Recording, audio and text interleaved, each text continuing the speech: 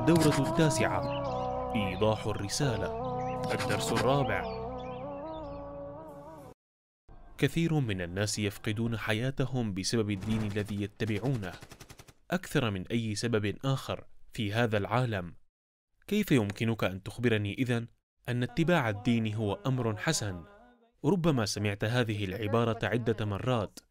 كيف تستطيع الإجابة على هذا السؤال؟ الأسلوب الأول الذي نريد التحدث عنه هو استخدام الحقائق. يمكنني أن أستعمل الحقائق في الدعوة لإقناع الناس بالإسلام. يمكنني استخدام الأرقام والإحصاءات. وأول شيء سأفعله هنا هو الإجابة بالحقائق، لأن هذه العبارة في الواقع غير صحيحة. الكثير من الناس يقولون ذلك دون التفكير فيه، لكنه مخالف للحقيقة في الواقع. الدين ليس المسبب الأول لموت الناس وليس السبب الأول وراء الحروب كذلك. إذا قمت بحسابات بسيطة ستعرف أن معظم الناس يموتون بسبب نزاعات حول الأراضي والأقاليم والمال وغيرها من النزاعات ومحاولة التغلب على بعضهم البعض من خلال السياسة والحروب الأهلية وليس لأسباب دينية كما يظن الكثير. في الحرب العالمية الأولى. تقدر الوفيات بحوالي 20 مليون شخص. مع 21 مليون جريح. بينما لقي 75 مليون شخص حتفهم في الحرب العالمية الثانية. وتسببت حروب نابليون في وقوع ما يقارب من ثلاث ملايين ضحية. أما الحرب الأهلية الروسية فقد نتج عنها عشرة ملايين قتيل. وعلى هذا المنوال مات الملايين والملايين من الناس وكان الدين بريئا من هذه الحروب. فقد كان هناك أيديولوجيات كثيرة متسببة.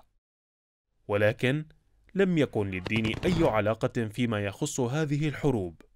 وهذا يعني أنه حتى لو نظرنا إلى الحروب التي يفترض أو زعم أنها بدأت بسبب أمور دينية سنجد أنه لم يكن الأمر بسبب الدين فقط. بل كان هناك دائما عامل آخر وراء ذلك. القاعدة الثانية هي أن عليك أن تبدأ دائما بأبسط تفسير. كداعية ستحضر أحيانا درسا تنهل منه الكثير من المعلومات المفصلة، وعندها ستظن أنه يقع على عاتقك أن تشارك كل شيء بالتفصيل مع الناس. فينتهي بك الحال إلى تقديم شرح طويل للغاية. يجب أن تبقي الأمر بسيطا دائما. حتى يتسنى للشخص أن يندمج في حديثك وتكون محادثة مثمرة. الأسلوب الثالث في الدعوة هو شرح الصورة الأكبر للناس أولا. دعهم يفهمون ويتمعنون الصورة الأكبر، لأنه بمجرد فهمهم لها كل شيء آخر سيكون منطقيا. دعونا ننظر إلى بعض الأمثلة المتعلقة بالحصول على الصورة الأكبر. قال شخص ذات مرة: لماذا لا يظهر الرب على التلفاز؟ ويتحدث إلينا مباشرة. الآن الصورة الأكبر هي أن الحياة اختبار لكم بأن تؤمنوا بالله دون رؤيته. فإذا رأيته فأين الاختبار إذن؟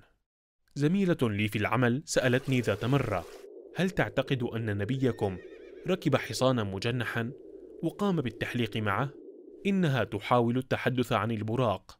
ووجدت أن ذلك غريب. لأنها إذا كانت تعترف بوجود الله فمن غير الغريب أنه قادر على خلق حيوان مثل البراق. لذا فمن غير المنطقي طرح هذا السؤال. كشخص يمارس الدعوة عليك أن تعلم أنه عندما يسألك أحدهم سؤالا غريبا.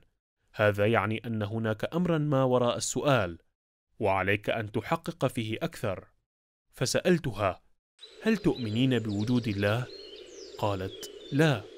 فقلت هذا هو الجواب الذي يحل المشكلة. يبدو الأمر منطقيا الآن لأنك إذا كنت تؤمنين بالله الذي خلق السماوات والأرض وخلق كل هذه الحيوانات الأخرى أليس بقادر على أن يخلق هذا الحيوان المختلف؟ بالتأكيد يقدر.